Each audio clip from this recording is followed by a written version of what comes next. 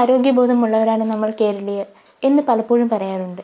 എന്നിട്ടും നമ്മുടെ കേരളം ഇത്ര വലിയ ഔഷധ വിപണിയാകുവാൻ എന്താണ് കാരണം?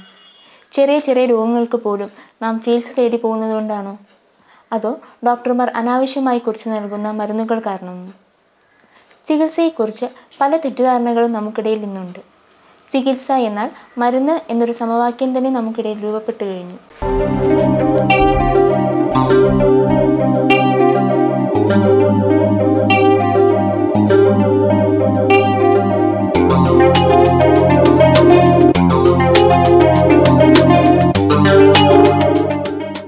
വിവാഹിതരാകാൻ പോകുന്ന ദമ്പതികൾ വിവാഹം കഴിഞ്ഞ് ഒരു കുഞ്ഞുണ്ടാകാനായി കാത്തിരിക്കുന്നവരും.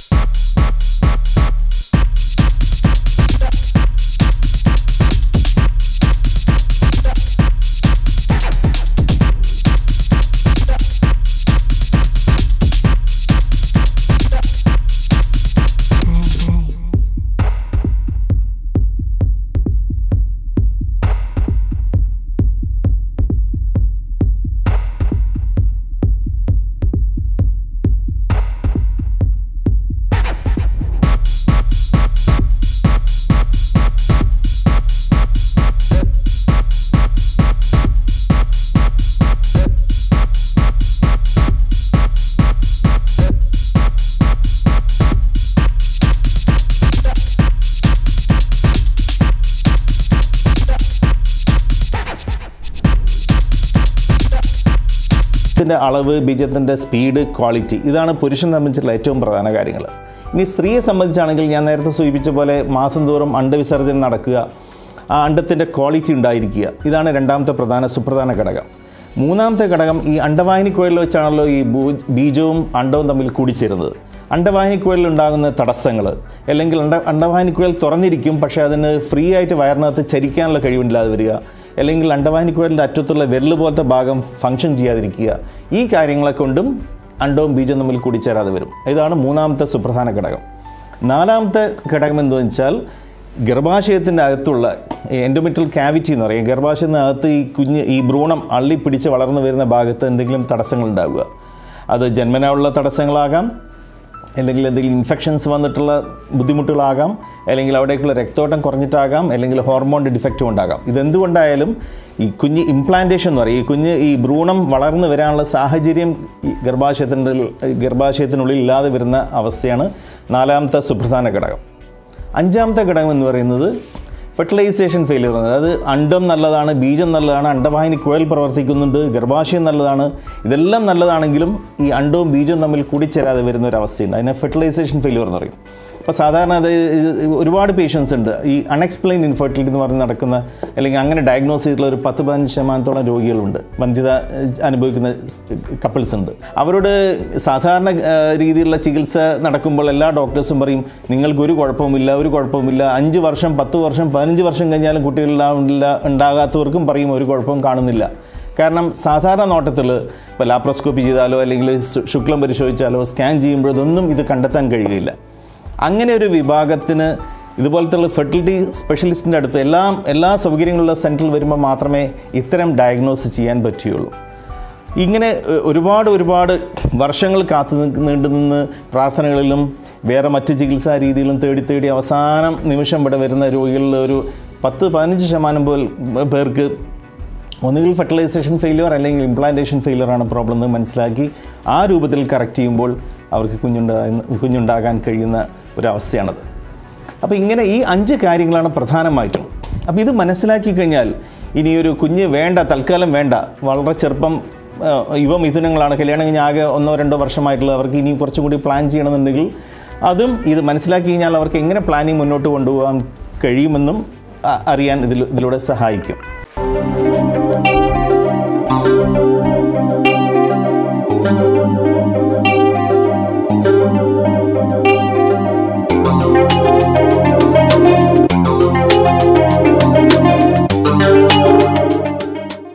ഇങ്ങനെ ഒരുപാട് ഒരുപാട് വർഷങ്ങൾ കാത്തു നീണ്ടു നിന്ന് പ്രാർത്ഥനകളിലും വേറെ മറ്റ് ചികിത്സാ രീതികളും തേടി തേടി അവസാനം നിമിഷം ഇവിടെ വരുന്ന രോഗികളിൽ ഒരു പത്ത് പതിനഞ്ച് ശതമാനം പോൽ പേർക്ക് ഒന്നുകിൽ ഫെർട്ടിലൈസേഷൻ ഫെയിലിയർ അല്ലെങ്കിൽ ഇംപ്ലാന്റേഷൻ ഫെയിലിയർ ആണ് പ്രോബ്ലം എന്ന് മനസ്സിലാക്കി ആ രൂപത്തിൽ കറക്റ്റ് ചെയ്യുമ്പോൾ അവർക്ക് കുഞ്ഞുണ്ടാ കുഞ്ഞുണ്ടാകാൻ കഴിയുന്ന ഒരവസ്ഥയാണത്. അപ്പോൾ ഇങ്ങനെ ഈ അഞ്ച് കാര്യങ്ങളാണ് പ്രധാനമായിട്ടും. അപ്പോൾ ഇത് മനസ്സിലാക്കി കഴിഞ്ഞാൽ ഇനിയൊരു കുഞ്ഞ് വേണ്ട തൽക്കാലം വേണ്ട വളരെ ചെറുപ്പം ആ, യുവമിഥുനങ്ങളാണ് കല്യാണം കഴിഞ്ഞ് ആകെ ഒന്നോ രണ്ടോ വർഷമായിട്ടുള്ള അവർക്ക് ഇനി കുറച്ചും കൂടി പ്ലാൻ ചെയ്യണമെന്നുണ്ടെങ്കിൽ അതും ഇത് മനസ്സിലാക്കി കഴിഞ്ഞാൽ അവർക്ക് എങ്ങനെ പ്ലാനിങ് മുന്നോട്ട് കൊണ്ടുപോകാൻ കഴിയുമെന്നും അറിയാൻ ഇതിൽ ഇതിലൂടെ സഹായിക്കും. അതുപോലെ തന്നെ എന്തുകൊണ്ടാണ് തനിക്ക് കുഞ്ഞില്ലാത്തത് അപ്പം ഈ ചികിത്സയ്ക്ക് തേടുമ്പോൾ മിക്ക പേഷ്യൻസും പറയുന്നത് വെച്ചിട്ടുണ്ടെങ്കിൽ ഡോക്ടേഴ്സ് പറയും ഈ മരുന്ന് കഴിച്ചാൽ മതി. വേറെ പ്രശ്നങ്ങളൊന്നും പക്ഷേ പക്ഷേ നമുക്ക് ഇത് അറിഞ്ഞു കഴിഞ്ഞാൽ നിങ്ങൾക്ക് ചോദ്യം ചെയ്യാൻ പറ്റും. നിങ്ങൾക്ക് സ്വയം ക്രിട്ടിസൈസ് ചെയ്യാം. അല്ലെങ്കിൽ ഡോക്ടറോട് തന്നെ നിങ്ങൾക്ക് ചോദിച്ച് എവിടെയാണ് എന്റെ പ്രോബ്ലം കിടക്കുന്നതെന്ന് മനസ്സിലാക്കി കഴിഞ്ഞാൽ ചികിത്സ കുറെ കൂടി വളരെ എളുപ്പമാകും. അല്ലാതെ ഡോക്ടേഴ്സ് പറയുന്ന മുഴുവൻ മകിയത് അവർ പറയുന്ന മെഡിസിൻസും അവർ പറയുന്ന ചികിത്സകളും റിപ്പീറ്റ് ചെയ്ത് റിപ്പീറ്റ് ചെയ്ത്. കാരണം എത്രയോ പേരുണ്ട്. രണ്ട് മൂന്ന് ലാപ്രോസ്കോപ്പി ട്യൂബിന് വേണ്ടി ചെക്ക് ചെയ്യും. കുറേ എക്സ്റേ എടുത്തിട്ട് ട്യൂബ് ട്യൂബ് ബ്ലോക്ക് ഉണ്ടോ ഇല്ലെന്ന് അറിയാൻ വീണ്ടും വീണ്ടും എക്സ്റേ എടുക്കുക ഡി എൻ സികൾ ചെയ്യുക. അങ്ങനെ കുറേ സെയിം റിപ്പീറ്റഡ് ടെസ്റ്റുകളും റിപ്പീറ്റഡ് ട്രീറ്റ്മെന്റും കൊണ്ട് വർഷങ്ങൾ പോയി കഴിഞ്ഞ് എത്രയോ ദമ്പതികൾ ഇവിടെ എത്താറുണ്ട്. അപ്പോൾ ഇത് നിങ്ങൾ മനസ്സ് നിങ്ങളുടെ രോഗം നിങ്ങളുടെ പ്രോബ്ലം നിങ്ങളാണ് ആദ്യം മനസ്സിലാക്കേണ്ടത്. എങ്കിൽ വളരെ എളുപ്പത്തിൽ തന്നെ ഇതിനൊരു പരിഹാരം ലഭിക്കാൻ കഴിയും. വന്ധ്യതാ ചികിത്സ തേടിയെത്തുന്ന രോഗികളുടെ എണ്ണം ദിനം പ്രതി കൂടിക്കൂടി വരുന്നതായിട്ടാണ് കണക്കുകൾ കാണിക്കുന്നത്. അത് കേരളത്തിൽ മാത്രമല്ല ആഗോള അടിസ്ഥാനത്തിൽ തന്നെയും ഈ ഒരു ഒരു പ്രതിഫലനം കാണുന്നുണ്ടെന്ന്. ഇപ്പം ഇന്നത്തെ പത്രത്തിൽ തന്നെ ഒരു മുഖ്യമായ ഒരു വാർത്ത എന്തെന്ന് വെച്ചാൽ കേരളത്തിൽ വൃദ്ധരായുടെ എണ്ണം കൂടിക്കൂടി വരുന്നു കുട്ടികളുടെ എണ്ണം കുറഞ്ഞു വരുന്നു എന്നുള്ളതാണ്. എവിടെയും കുട്ടികൾ അല്ലെങ്കിൽ ഒരു ഒരു മുതിർന്നവർ അല്ലെങ്കിൽ ആ ഒരു ഒരു യുവാക്കൾ ആ യുവാക്കളാണ് അല്ലെങ്കിൽ കുഞ്ഞുങ്ങളാണ് ഒരു ഏത് രാജ്യത്തിന്റെയും ശക്തി എന്ന് പറയുന്നത്. കാരണം അതിനെ കവച്ചു വെക്കുവാൻ ഇന്ന് വേറെ ഒന്നും തന്നെ ഇല്ല. അപ്പോൾ ഈ വന്ധ്യതയിലേക്ക് വരികയാണെങ്കിൽ എന്തുകൊണ്ട് ഒരു വന്ധ്യത ഉണ്ടാകുന്നത് നമുക്ക് നമുക്ക് കാരണം അന്വേഷിക്കുമ്പോൾ ഞാൻ നേരത്തെ സൂചിപ്പിച്ച പോലെ അഞ്ച് കാരണങ്ങൾ നമ്മൾ കണ്ടെത്താൻ കഴിഞ്ഞു. ഇനി കുറച്ചുകൂടി ഡീറ്റെയിൽ ആയിട്ട് ഡീറ്റെയിലിലേക്ക് പോവുകയാണെങ്കിൽ സ്ത്രീ വന്ധ്യത ഇന്ന് ഏതാണ്ട് ഒരു പുരുഷ വന്ധ്യതയോട് ഏതാണ്ട് ഈക്വലായിട്ട് നിൽക്കുകയാണ്. മുന്നേ എല്ലാം ഇപ്പോൾ ഞാൻ പഠിക്കുന്ന സമയത്തൊക്കെ പുരുഷവന്ധ്യത വളരെ കുറവും സ്ത്രീവന്ധ്യതയാണ് ഏറ്റവും കൂടുതൽ. ഏതാണ്ട് എഴുപത് ശതമാനം സ്ത്രീകളും സ്ത്രീകളാണ് ഇതിന് കാരണക്കാർ. സ്ത്രീ പുരുഷനെ സംബന്ധിച്ചാണെങ്കിൽ മുപ്പത് ശതമാനം മാത്രമേ കാരണ കോൺട്രിബ്യൂഷൻ ഉള്ളൂ എന്നുള്ളതാണ് പഠിച്ചിരുന്നത്. പക്ഷേ ഇന്ന് കാലം മാറി ഇന്ന് ആണെങ്കിൽ പുരുഷവന്ധ്യതയാണ് സ്ത്രീവന്ധ്യതയെക്കാളും കൂടുതലായിട്ട് മുന്നിൽ നിൽക്കുന്നത്. അതുപോലെ തന്നെ പുരുഷന്റെയും സ്ത്രീയുടെയും കാരണങ്ങൾ കൊണ്ട് വന്ധ്യത അനുഭവിക്കുന്നവരുടെ എണ്ണവും ഇന്ന് കൂടി കൂടി വരികയാണ്.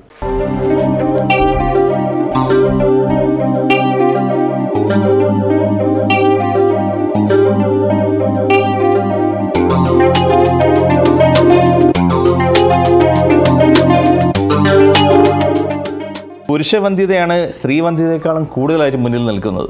അതുപോലെ തന്നെ പുരുഷന്റെയും സ്ത്രീയുടെയും കാരണങ്ങൾ കൊണ്ട് വന്ധ്യത അനുഭവിക്കുന്നവരുടെ എണ്ണവും ഇന്ന് കൂടി കൂടി വരികയാണ്.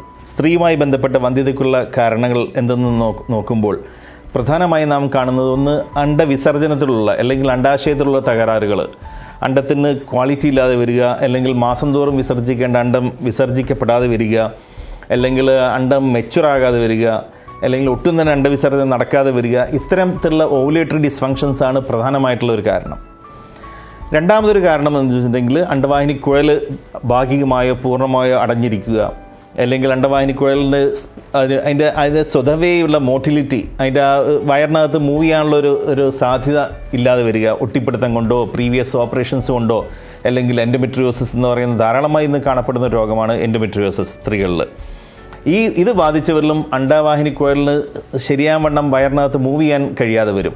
ഇത് അണ്ടവാഹിനി കുഴലുമായി ബന്ധപ്പെട്ട ഒരു തകരാറാണ്. മൂന്നാമതൊരു കാരണം എന്ന് വെച്ചിട്ടുണ്ടെങ്കിൽ ഗർഭാശയത്തിൽ ഉണ്ടാകുന്ന മുഴകൾ ഫൈബ്രോഡ് ആകാം അഡിനോമൈസ് ആകാം ഇത്തരം രോഗങ്ങൾ ഒരു പരിധിവരെ ഗർഭധാരണത്തിന് ഹനിക്കുന്നതാണ്. ഇത് ഏതാണ്ട് ഒരു പത്ത് ശതമാനം ആണ് ഈ അണ്ടവായി മറ്റേ അണ്ടാശയത്തിലുള്ള മുഴകളും അലമെന്റ് ഗർഭാശയത്തിലുള്ള മുഴകൾ എഡിനോമയോസിസ് എന്നുള്ള രോഗങ്ങൾ ഉണ്ടാക്കുന്ന ശതമാനം ഏതാണ്ട് പത്ത് ശതമാനമാണ്. പക്ഷേ ഇരുപത്തഞ്ച് മുതൽ മുപ്പത്തഞ്ച് ശതമാനം വരെ സ്ത്രീ വന്ധ്യതയ്ക്ക് പ്രധാനമായി ഇന്ന് കണ്ടുവരുന്ന ഒരു കാരണമാണ് എൻഡോമെട്രിയോസിസ്. അത് സ്ത്രീകളിൽ ഒരു പ്രത്യേകതരം ഒരു ഒരു ഒരു അസുഖമാണ്. സ്ത്രീകൾ മാത്രം കാണുന്ന ഒരു പ്രത്യേകതരം അസുഖമാണ്. അത് അധികവും വരുന്നത് ഈ റീപ്രൊഡക്റ്റീവ് ഏജിലാണ്. വളരെ കുറഞ്ഞ ശതമാനം മാത്രമാണ് ഒരു ചെറുപ്പക്കാരിൽ ഒരു ഒരു ഒരു പതിനഞ്ച് പതിനാറ് വയസ്സിൽ കാണുന്നത്. പക്ഷേ മിക്കവരിലും കാണുന്ന ഒരു ഇരുപത്തഞ്ചിനും മുപ്പത്തഞ്ച് നാൽപ്പതിനും ഇടയിലാണ്. ഇതാണെങ്കിൽ വളരെ നേരത്തെ കണ്ടെത്താൻ കഴിഞ്ഞാൽ വളരെ അഗ്രസീവായിട്ട് ട്രീറ്റ് ചെയ്താൽ നല്ല റിസൾട്ട് കിട്ടുന്ന ഒരു രോഗം കൂടിയാണ് എൻഡോമെട്രിയോസിസ് ഒന്നാമതായി ഞാൻ പറഞ്ഞ അണ്ട വിസർജനവുമായി ബന്ധപ്പെട്ട തകരാറുകൾ രണ്ട് അണ്ടവാഹിനി കുഴലിലെ തകരാറുകൾ മൂന്നാമത്തത് ഗർഭാശയത്തിലുള്ള രോഗങ്ങൾ. പിന്നെ നാലാമതായി ഗർഭാശയ മുഖം അതായത് സർവിക്സ് എന്ന് പറയുന്ന ഒരു ഭാഗമുണ്ട് ഗർഭാശയത്തിന് തന്നെ. അത് ഗർഭാശയ വയറിന് പുറത്തായി യോനിക്കകത്ത് കാണുന്ന ഒരു ഭാഗമാണ്. ഇതിലുണ്ടാകുന്ന തകരാറുകൾ ഇതിലുണ്ടാകുന്ന വ്രണങ്ങൾ അൾസേഴ്സ് ഇറോഷൻസ് ഇൻഫെക്ഷൻസ് അല്ലെങ്കിൽ അവിടെ ഉണ്ടാകുന്ന മ്യൂക്കസ് എന്ന് പറയുക ആ ഒരു ദ്രവം ഹോസ്റ്റൈലാവുക ഇതെല്ലാമാണ് സർവിക്സ് സർവൈക്കൽ ഫാക്ടേഴ്സ്. പിന്നെ ഇമ്മ്യൂണോളജിക്കൽ ഫാക്ടേഴ്സ് ഉണ്ട്. ഈ ഭർത്താവിന്റെ പുരുഷന്റെ ബീജവും ഈ സർവിക്സിനകത്തുള്ള മ്യൂക്കസ് തമ്മിൽ കൂടിച്ചേരാതെ വരിക ഹോസ്റ്റൈൽ എൻവയൺമെന്റ് വയറിനകത്ത് ഉണ്ടാക്കുക അല്ലെങ്കിൽ അണ്ടവും ബീജവും തമ്മിൽ കൂടിച്ചേരാൻ പ്രയാസം ഉണ്ടാക്കുക അങ്ങനെയുള്ള ഇമ്മ്യൂണോളജിക്കൽ കോസസ് ആണ് നേരത്തെ സൂചിപ്പിച്ച ഫെർട്ടിലൈസേഷൻ ഫെയിലിയറിലേക്ക് എത്തിക്കുന്നത്. ഇതെല്ലാമാണ് സ്ത്രീയെ സംബന്ധിച്ചുള്ള പ്രധാന സുപ്രധാനമായ കാര്യങ്ങൾ. ഇനി ഇത് ഇതിന്റെ കുറച്ചുകൂടി വിശദീകരണത്തിലേക്ക് നമുക്ക് കടന്നു ചെല്ലാം. ഞാൻ ആദ്യം സൂചിപ്പിച്ച അണ്ടവിസർജനത്തിലുള്ള വൈകല്യങ്ങൾ. അതൊരു ഏതാണ്ട് ഒരു തേർട്ടി തേർട്ടി ഫൈവ് പെർസെന്റ് വരെ ഇന്ന് കാണപ്പെടുന്ന ഒരു ഒരു രോഗമാണ് സ്ത്രീകളിൽ. വന്ധ്യതയിലേക്ക് നയിക്കുന്ന രോഗമാണ്. കുറേ മരുന്ന് കഴിച്ചത് കൊണ്ട് മാത്രം രോഗം ശമിക്കണമെന്നില്ല. ഔഷധങ്ങളെക്കുറിച്ചും അവയുടെ ധർമ്മത്തെക്കുറിച്ചുമുള്ള ഒരു ശരിയായ ധാരണ നമുക്കുണ്ടായിരിക്കണം. ഇന്ന് ആൾക്കാർക്കെല്ലാം ഏറ്റവും കൂടുതൽ ഉണ്ടാകുന്ന അകാല നര ഒന്നാമത്. അകാല നര അല്ലാതെ തന്നെ നമുക്ക് നര വരാറുണ്ട്. പിന്നെ ഹെയർ കളർ ചെയ്തിട്ട് പിന്നെ വേറൊരു കളറായി പോയാൽ തിരിച്ചെങ്ങനെ നമുക്ക് ബ്ലാക്ക് കളറിലോട്ട് കൊണ്ടുവരാം? ഇങ്ങനെയൊക്കെയുള്ള പ്രശ്നമുണ്ട്. അപ്പോൾ ഈ അകാല നര വന്ന ആൾക്കാരെല്ലാം ആദ്യം അങ്ങ് ഡൈക്ക് പോകും ഡൈ എന്ന വാക്ക് തന്നെ നമുക്ക് ഉപയോഗിക്കാൻ പാടില്ലാത്തത്. അതായത് ഇന്നത്തെ പിന്നെ ഡൈ എന്നൊക്കെ പറയുന്നത് അതായത് P P D പാരാഫിൻലൈൻ dye Amy എന്ന് പറയുന്ന കണ്ടന്റാണ് ഇത് ഇന്റർനാഷണൽ സ്റ്റാൻഡേർഡ് ലെവൽ പോലും ബിലോ ടു പെർസെന്റേജാണ് പക്ഷേ ഒരു സാധനത്തിലും നമുക്ക് എത്ര പെർസെന്റേജ് പി പി ഡി ഉണ്ടെന്ന് ഇവിടെ പറയുന്നില്ല. ഏകദേശം പന്ത്രണ്ട് തൊട്ട് ഇരുപത്തിനാല് ശതമാനം വരെ നമ്മുടെ ഇന്ത്യൻ സ്റ്റാൻഡേർഡ് ലെവൽ അവർ കൊണ്ടുപോകുന്നുണ്ട്. പിന്നെ നിയമത്തിന് ഒരുപാട് ലൂപ്പ് ഹോൾസ് ഉള്ള രാജ്യമായതുകൊണ്ട് ഇതൊന്നും ആരും കണ്ടുപിടിക്കുന്നില്ല. ഇതുണ്ടാക്കുന്ന ദോഷം. പി പി ഡി അമീൻ കണ്ടന്റുള്ള ഏത് സാധനവും കണ്ണിന് കാഴ്ചക്കുറവ്. നമ്മൾ ഒരു ഡൈ ഇട്ട് കഴിഞ്ഞതിന് ശേഷം ഉടനെ യൂറിൻ ടെസ്റ്റ് ചെയ്ത് നോക്കുക തീർച്ചയായിട്ടും അത് കിഡ്നിക്കകത്ത് നിന്ന് നമ്മൾ വരുന്ന യൂറിനകത്ത് തീർച്ചയായിട്ടും പി പി ഡി കാണും. അത് നമുക്ക് ഉണ്ടാക്കുന്നത് നമുക്ക് ഊഹിക്കാമെന്നില്ല ആ വാക്ക് പറയുമ്പോൾ തന്നെ. പിന്നെ നമ്മുടെ ബ്രെയിനെ എഫക്റ്റ് ചെയ്യും നമുക്ക് ഇന്റേർണലി ക്യാൻസേഴ്സ് ഒക്കെ ട്യൂമറും ഒക്കെ ഉണ്ടാക്കുന്നതിന് ഒരു പരിധി വരെ നമുക്ക് പിന്നെ ഡൈ ചെയ്യുന്നുണ്ട്. പിന്നെ ഇവിടെ എല്ലാം സ്കിന്നിനുള്ള പിഗ്മെന്റേഷൻ ഏറ്റവും കൂടുതൽ ആൾക്കാർക്ക് ഇവിടെ വല്ലാത്തൊരു കറുപ്പ് വരും. ഇവിടെ വരുന്നതിന്റെ കാര്യം തന്നെ നമുക്ക് ഇത്രയും പോർഷൻസിൽ ഓയിലി ഗ്ലാൻസ് തീരെ കുറവാണ്. അതുകൊണ്ട് ഏറ്റവും കൂടുതൽ പിഗ്മെന്റേഷൻസ് ഉണ്ടാകുന്ന സ്ഥലവും ഇവിടെയാണ്. ഇതുകൊണ്ട് നമുക്ക് ഡൈ എത്ര മിനിറ്റ് കാര്യം അഞ്ച് രൂപയോ ഏഴ് രൂപയോ പത്ത് രൂപയോ തൊട്ടുള്ള ഡൈ ഉണ്ട് നമുക്കിവിടെ.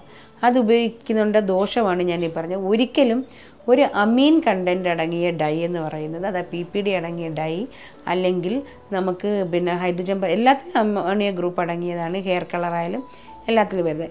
ഇതിന് എല്ലാം ചെയ്യുന്നത് ഡയറക്റ്റായിട്ട് ഒരു മുടിയിലും ഈ ഡൈ പിടിക്കത്തില്ല. ഈ അമീൻ ബേസ്ഡ് ആയിട്ടുള്ള. അപ്പോൾ എന്താ ചെയ്യുമെന്ന് പറഞ്ഞാൽ നമ്മുടെ മുടിയുടെ ഔട്ടർമോസ്റ്റ് ലെയറിലെല്ലാം കെരാറ്റിൻ ഫിൽഡാണ് ഈ കെരാറ്റിനെ മുടി വെള്ളം പുറത്തോട്ട് തള്ളും. വെള്ളം ബേസ്ഡ് ആണ് അമീൻ എന്ന് പറഞ്ഞാൽ വിത്ത് ഹൈഡ്രജൻ പെറോക്സൈഡും കൂടെ ചേർന്നിട്ടാണ് നമ്മൾ ഈ മുടിയിൽ ഡൈ പിടിപ്പിക്കുന്നത്. അപ്പോൾ ഈ കെരാറ്റിൻ വെള്ളം ചേർന്നതിനെ പുറത്തോട്ട് തള്ളുമ്പോഴത്തേക്കും ആദ്യം ഇത് ചെയ്യുന്നതെന്ന് പറഞ്ഞാൽ അമ്മി അമോണിയയും ഈ ഹൈഡ്രജൻ പെറോക്സൈഡും കൂടെ റിയാക്ട് ചെയ്തിട്ട് നമ്മുടെ പുറത്തെ യഥാർത്ഥ കറുപ്പ് കളറങ്ങ് പിന്നെ ബ്ലീച്ച് ചെയ്ത് കളയുക. ബ്ലീച്ച് ചെയ്ത് കളയുമ്പോഴത്തേക്കും സംഭവിക്കുന്നത് അവിടെ ഒന്നി ചെമ്പൻ മുടിയാകുന്നു.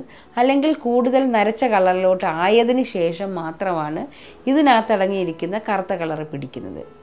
ഈ പി പി ഡി എന്ന് പറയുന്ന കളറ് മുടിയിലോട്ട് പിടിക്കുന്നത് ഇത് പോയി കഴിയുമ്പോൾ നമുക്കുണ്ടാകുന്നത് കൂടുതൽ ഗ്രേ ഹെയർസോ അല്ലെങ്കിൽ ചെമ്പൻ മുടിയായിരിക്കും മൊത്തം പോയി കാര്യം ഉള്ള കറുപ്പ് കളഞ്ഞിട്ടാണ് ഇതിനകത്ത് പിടിച്ചേക്കുന്നത്. അപ്പം ഡൈഡ് ദൂഷ്യവശം ഒന്നത് രണ്ടാമത് നമുക്ക് ഇത് ഉണ്ടാക്കി തരുന്ന ഫലങ്ങൾ. ഞാനൊരു കമ്പനിക്കും എതിരായിട്ട് പറയില്ല. പക്ഷെ ഒരു ബോധവൽക്കരണമാണ്. നമ്മൾക്ക് അത്യാവശ്യം മനസ്സിലാക്കേണ്ട കാര്യങ്ങളാണ്. ഇന്ന് അതിന് പകരം എന്ത് എന്നുള്ളൊരു ചോദ്യമുണ്ട്. എല്ലാവരും ഓടിപ്പോകും. ആർക്കും പിന്നെ വയസ്സായിരിക്കുന്നതോ അല്ലെങ്കിൽ മുടി നരച്ചിരിക്കുന്നതോ ഇഷ്ടമല്ല. അപ്പോൾ എന്താ വളരെ വർഷങ്ങൾക്ക് ശേഷം ഒരു ശാസ്ത്രത്തിന്റെ ഭാഗത്തായിട്ട് നമുക്കൊരു പുതിയ ഒരു കണ്ടുപിടുത്തം ഉണ്ടായിട്ടുണ്ട്. ഷാംപൂ ബേസ്ഡ് ആയിട്ടുള്ള ഒരു ഡൈ. ഞാൻ എപ്പോഴും പറയാറുള്ളത് പോലെ ഷാംപൂ എന്ന് പറയുന്നത് എന്താണെന്ന് വെച്ചാൽ എണ്ണയും വെള്ളവും അല്ലെങ്കിൽ രണ്ട് സർഫസ് ടെൻഷനുള്ള പ്രോഡക്റ്റുകൾ തമ്മിൽ മിക്സ് ആവാതിരിക്കും. അതായത് എസ്പെഷ്യലി എക്സാമ്പിൾ വെള്ളവും എണ്ണയും തമ്മിൽ ഇങ്ങനെ കിടന്നാൽ ഇത് മിക്സ് ആവത്തില്ല. അപ്പോൾ ഇതിനെന്ത് ചെയ്യും ഇതിനകത്തൊരു ഏജന്റായിട്ട് ഷാമ്പൂവിനെ നമ്മൾ അങ്ങോട്ട് ഇടുമ്പോഴത്തേക്ക് ഇവരെ തമ്മിൽ മിക്സ് ചെയ്തിട്ട് തലവോട്ടിൽ അഴുക്കടക്ക കളയുന്നത്. അപ്പം നമുക്ക് ഇന്ന് വിപണിയിൽ ഇറങ്ങിയിരിക്കുന്നവരുണ്ട് ഷാമ്പൂ ബേസ്ഡ് ആയിട്ടുള്ള ഒരു ഹെയർ കളർ അതിനകത്ത് അടങ്ങിയിരിക്കുന്നത് വെച്ചാൽ സേജും സാൽവിയ എന്നും പറയുന്ന രണ്ട് ചെടികളുടെ സത്താണ്. ഇതിനെ സാൽവിയുടെയും ഈ സേജിന്റെയും സത്തിനെ നമ്മുടെ കെരാട്ടിന്റെ മുടിയിലോട്ട് പിടിപ്പിക്കാനായിട്ട് ഇങ്ങനെ രണ്ടുപേരും ചേരാതെ നിൽക്കുമ്പം ഈ ഷാമ്പു ഇതിനിടയ്ക്ക് തന്നിട്ട് ഇവരെ തമ്മിൽ അങ്ങ് കൂട്ടി യോജിപ്പിക്കും അപ്പോൾ അതിനകത്തുള്ള നമുക്ക് ഏറ്റവും വലിയ ഗുണമെന്ന് പറഞ്ഞാൽ ഒരിക്കൽ പോലും ബ്ലീച്ച് ചെയ്ത് മറ്റേ കറുപ്പ് ഉള്ള കറുപ്പ് കളറിനെ കളയ കളയുന്നില്ല.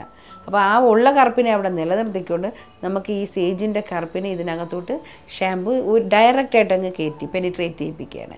അപ്പോൾ ആ ഒരു ഏറ്റവും നല്ലൊരു ഗുണം അതിനകത്തുണ്ട്. അപ്പോൾ ഇത് പകരം എന്ത് എന്നുള്ളൊരു ചോദ്യത്തിന് ഇന്ന് പക്ഷേ ആൾക്കാർക്ക് ആർക്കും അറിയില്ല ഇങ്ങനൊരു സാധനം ഉണ്ടെന്ന്. പക്ഷേ ജനം മുഴുവൻ തിരിച്ചറിയണം ഒരു കാലഘട്ടത്തിൽ നമ്മൾ ഇതിനെ അക്സെപ്റ്റ് ചെയ്യാനും ശ്രമിക്കണം. ഇതിന്റെ മറ്റൊരു ഗുണമെന്ന് പറഞ്ഞാൽ എന്തുകൊണ്ടാണ് നമുക്ക് അകാല നിര വരുന്നത്? കാരണങ്ങൾ പലതും പിന്നെ നമുക്ക് ഉപയോഗ ഉപയോ വേറെ പാരമ്പര്യമായിട്ടുണ്ട്. നമുക്ക് അതുപോലെ തന്നെ അമിതമായി ഷാമ്പു ഉപയോഗിച്ചുകൊണ്ടുണ്ട് ഹെയർ കളർ ഉപയോഗിച്ചുകൊണ്ടുണ്ട്.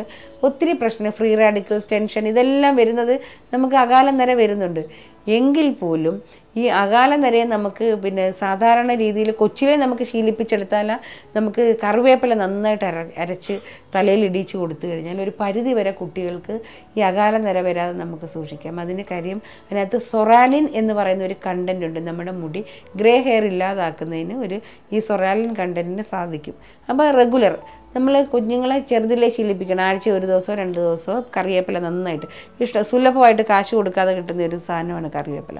അപ്പോൾ അത് തേച്ച് പിടിപ്പിച്ചിട്ട് നമ്മൾ നര വരാതിരിക്കാനായിട്ട് ശ്രമിക്കണം. പിന്നെ നമുക്ക് ഈ ഷാംപൂ ബേസ്ഡ് ആയിട്ടുള്ള ഡൈ ഉപയോഗിച്ച് കഴിഞ്ഞാൽ വേറെ ഏറ്റവും നല്ലതെന്ന് വെച്ചാൽ അഥവാ നര വന്നു പോയാൽ നമ്മുടെ മെലാലിന്റെ പ്രൊഡക്ഷൻ മെലാനോസൈറ്റ്സിൽ നിന്ന് കുറയുന്നു. അല്ലെ? കെരാറ്റിന്റെ പ്രൊഡക്ഷൻ കെരാറ്റിനോസൈറ്റ്സിൽ നിന്ന് കുറയുന്നു. അപ്പോൾ ഈ കെരാഗ്നോസൈഡ്സിന്റെ ഗുണം ഇതെന്ന് പറഞ്ഞാൽ ഈ ഷാമ്പു അല്ലെ സേജിന് ഈ തലയോട്ടിലോട്ട് ഈ പിന്നെ മെലാനോസൈറ്റ്സിനകത്തോട്ട് ചെന്നിട്ട് നിർജീവമായി പോയ മെലാനോസൈറ്റ്സ് കോശങ്ങളെ ഉത്തേജിപ്പിച്ചെടുത്ത് പഴയതുപോലെ കാലാകാലങ്ങളിൽ കറുത്ത മെലാലിൻ ധാരാളം പ്രൊഡ്യൂസ് ചെയ്ത് വിടാനുള്ള കഴിവുണ്ട്. ഈ ഇതിനകത്ത് അടങ്ങിയിരിക്കുന്ന സേജ് എന്ന് പറയുന്ന അരോമാറ്റിക് ചെടിക്ക്. അപ്പോൾ അതും നമുക്ക് വേറൊരു ഗുണമാണ്. അത് പുതിയ മുടി ഇപ്പം നേരെ ഇല്ലാതെ ഒരു പുതിയ മുടി കിളിച്ച് വരുന്നത് ഓട്ടോമാറ്റിക്കായിട്ട് അത് കറുത്തതായിട്ടേ വരത്തുള്ളൂ. പിന്നെ പഴയത് എങ്ങനെ വരുമെന്ന് പറഞ്ഞാൽ നമുക്ക് പഴയത് പൊഴിഞ്ഞിട്ട് പിന്നെ വരുന്ന മുടി എപ്പോഴും കറുത്തതായിരിക്കും. thank you